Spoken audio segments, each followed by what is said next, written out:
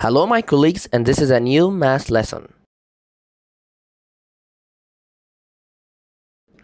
Factorization by taking out the HCF. But what does this mean? The HCF is an acronym which stands for the highest common factor.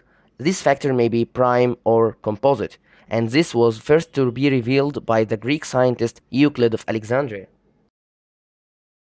What if I tell you find the prime factors of 180? You start by the prime factorization, you already know it, like dividing by 2, by 2, by 3, by 3, and by 5. Thus, you found it. 180 equals 2 times 2 times 3 times 3 times 5. The same if I am asking about 240. You start adding 2 by 2 by 2 by 2 by 3 and by 5. Thus you found it equals 2 times 2 times 2 times 2 times 3 times 5.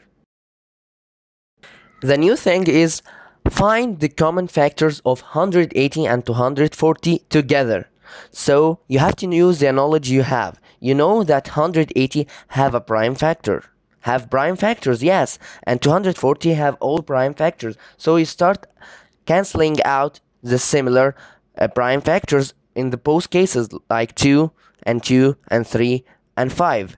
So the remainder is 3 and 4. So 180 equals to uh, over 240 equals 3 over 4 multiplied by 60 over 60 which actually equals 1 but 60 here is a result of multiplication the whole prime numbers. So 60 is called the HCF or the highest common factor. What if it wasn't a number? It was an algebraic term. So in case of algebraic terms, I do the same thing. I first have to simplify this term like 5x to the power 2 plus 15x to the power 3 equals to 5 times x times x plus 3 times 5 times x times x times x.